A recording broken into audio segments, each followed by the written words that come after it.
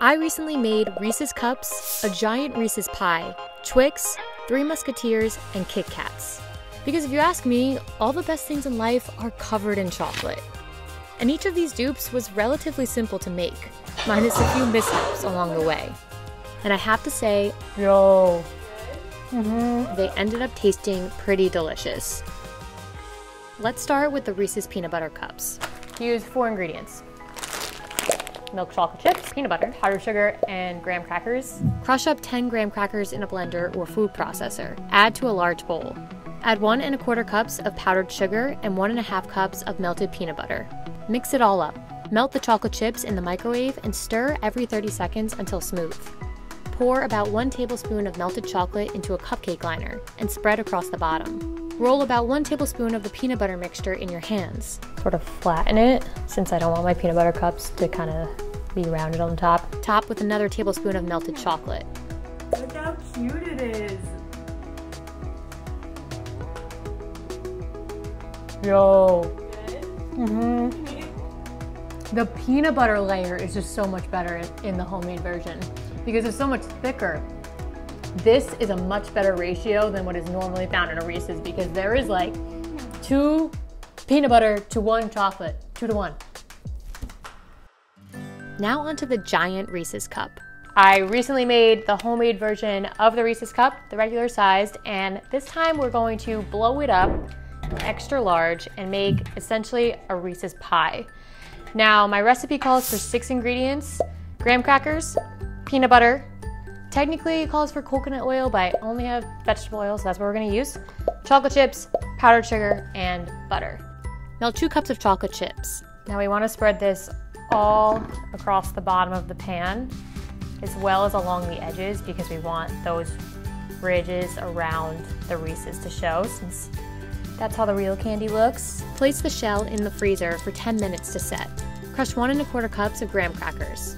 Pour in one and a quarter cup of powdered sugar, one and a quarter cup of melted peanut butter, and a half cup plus two tablespoons of melted butter. Mix until fully combined. Spread the peanut butter mixture onto the hardened chocolate shell. Melt two more cups of chocolate and pour on top of peanut butter mixture. Oh, this looks so good. This look actually looks good. I mean, I didn't, I don't, I didn't think it was gonna look bad, but I'm just saying. I'm getting excited because I can foresee how the end product will be. Place in the freezer for 15 minutes to set. the ridges look so good! That is delicious. Adding butter to the peanut butter filling, key. That made it so thick and so creamy and just like velvety. Next up, we have Twix. I'm gonna be making homemade Twix with just four ingredients, one of which being graham crackers, chocolate chips, caramels, and milk. Place 15 caramels in a bowl. One. we could maybe uh, just speed this up. Add one and a half tablespoons of milk to a bowl of caramels. Melt in the microwave for 30 second increments until smooth. If it seems too thick, add one more tablespoon of milk. Break three sheets of graham crackers in four pieces. So this is gonna be the base of our candy bar. So I'm gonna break them lengthwise Graham crackers can be hard to break. I'm kind of nervous though. Yeah, like.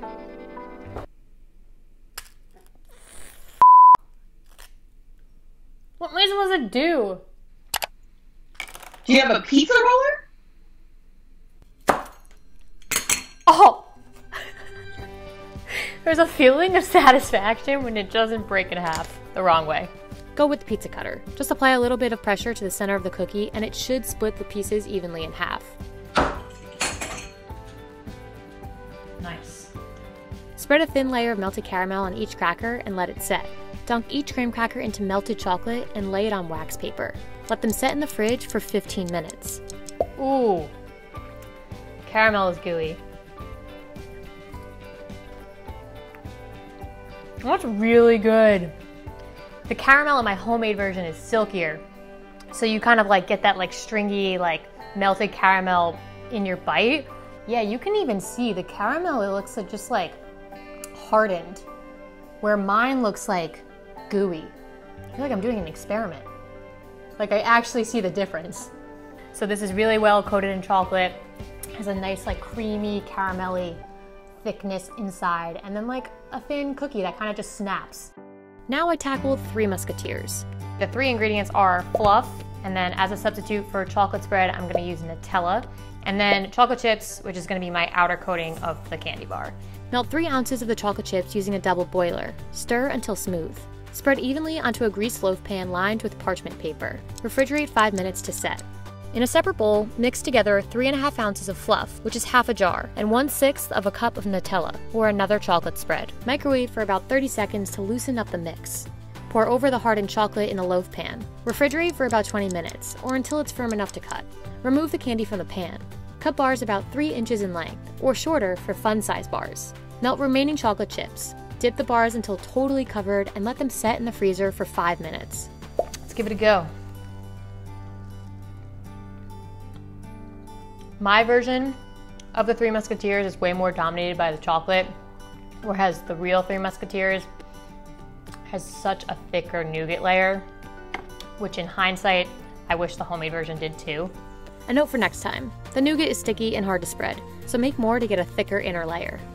And finally, Kit Kats, one of the easiest candy bars to make at home. There are only two ingredients for this one vanilla wafers and chocolate chips. Get your wafers in a cookie sheet with wax paper ready. Melt three quarters of a cup of chocolate chips using a double boiler. Dip vanilla wafers into melted chocolate. Looking good. Place candy bars down on wax paper. Let set in the fridge for 25 minutes. Okay. Hmm. That tastes different. Not in a bad way. These wafers taste flakier than the wafers in the Kit Kat. I think this feels more condensed. This is just flakier and kind of like crumbles as you bite into it. But good. That was good. So that was fun. I've eaten probably 36 candy bars. Overall, I think the most successful candy bar dupe or replica that I made were the Reese's Cups. Definitely the Reese's Cups. Would 100% make those again. I would make the homemade version before I would go buy the Reese's. Just saying a lot because Reese's are so good as they are. Make the Reese's Cups. They're really freaking good. Hope, hope you guys try a couple of these at home and if you did it better than me, you can also let me know that too. All right, bye.